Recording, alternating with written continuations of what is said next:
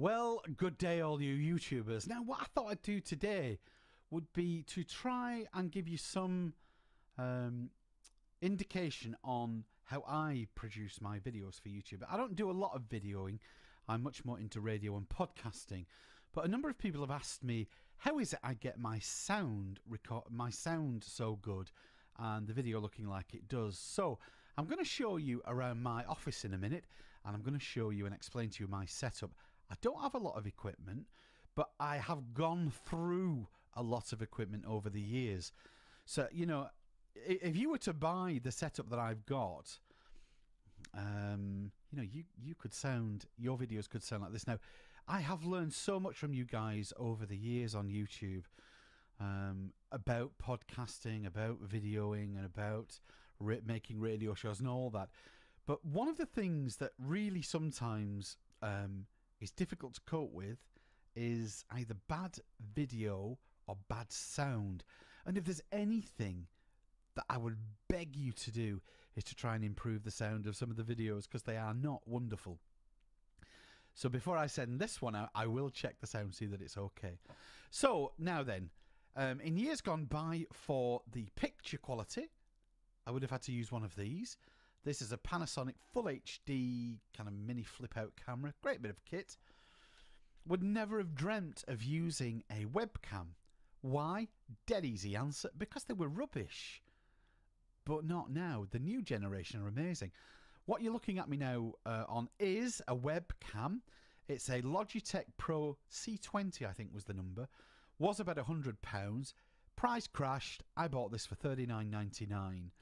So that's what you're looking at. It does have a stereo input speaker system. Don't like it. Sounds very tinny. Sounds like you're in a coal mine somewhere. That's why I'm using this. I'll come back to this in a minute. Um, so the other thing I've got over to the right here is a window. Just behind the monitor here to the rear is a lighting unit. And behind me here is my background. Now, I'm going to just zoom out and show you that because that is a simple photographer's background that I've pinned to the wall.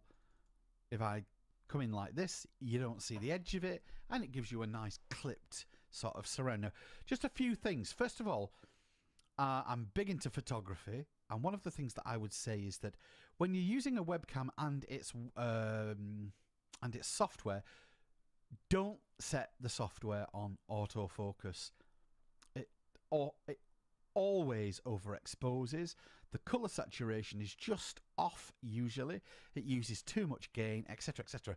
Play around with it and get the best that you can. The autofocus is fine. I've got this on autofocus, but the rest of the of the of the bits, play around with them until you get the very best that you can.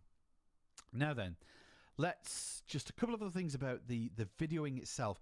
You'll notice that I am not in the center of the picture. I'm not here, okay? I'm off to the. I'm off to one side. That's called the rule of thirds. Look it up on YouTube. There's loads of things why that's the case. But anyone that's into photography, film, film and uh, videography, um, TV work, they always know. You look at somebody who's being interviewed on CNN, uh, the BBC, they're always off to one side. Nobody knows why it happens. The brain prefers you to one side, not in the middle. Don't know why. Um, the old master pains, it's been going on for three or four hundred years. People have known about it a long time. Look it up on YouTube, they'll tell you why that is the case. So, um, I'm going to show you around my office. It's about 10 feet by 10 feet, it's very small. Um, and I'm going to show you the setup and then I'll talk through the prices of the setup that I've got. So I've all oops, I've already showed you this background, photographer's background, okay? The Shure SM7B looks like this. I have another microphone, actually. uh, where am I?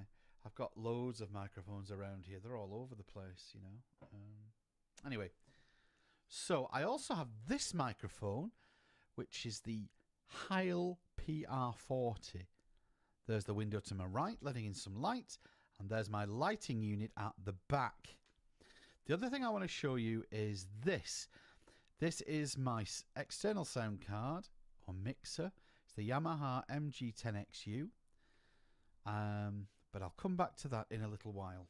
Let me put you back up here. Right now, then, the costing of these. The video camera that you're looking at was about £40.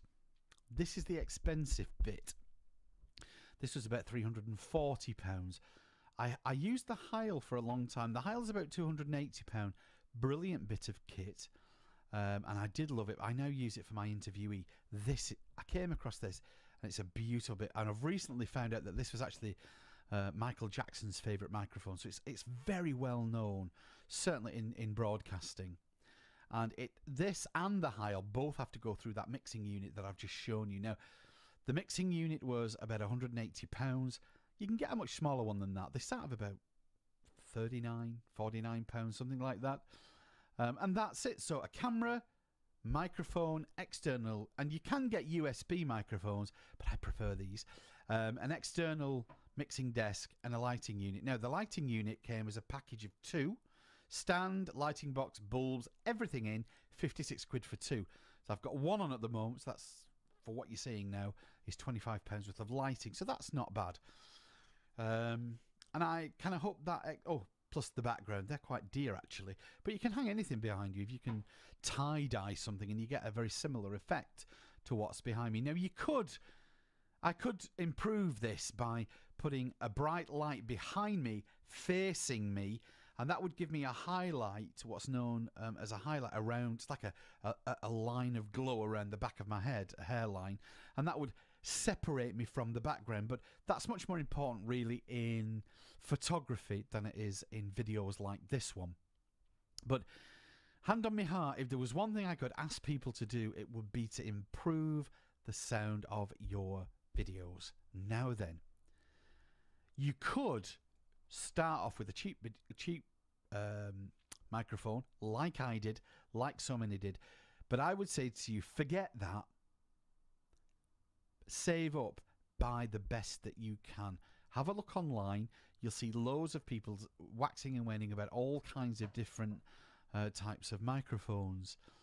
The Heil and the Shure SM7B for me are the two best for the kind of work that I do. Uh, and I'm hoping that you can hear the sound quality that comes from them. Uh, what else was I going to say about? Oh yes, I like I I bought a thirty pound mic. Then I upgraded to a £90, then 110 then 180 then 200 and something.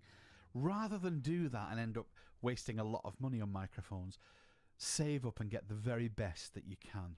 Okay, so I'm hoping that you can see that this video, um, I'm in a 10 by 10 room. I have very little equipment really.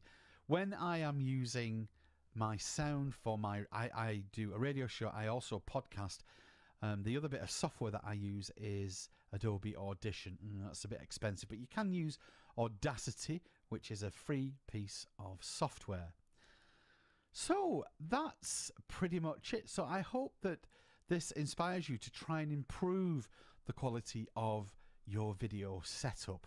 If you want to leave a message, please do below. I'd be most grateful. If you have any questions about any of the gear that I use, I've got about three dozen microphones. These are the two that I use a lot. So I may have a microphone that you want answering uh, or a question answering about. Just pop uh, pop a question down below, and I will do my best to answer any questions that I can. So until next time, take care. Bye for now.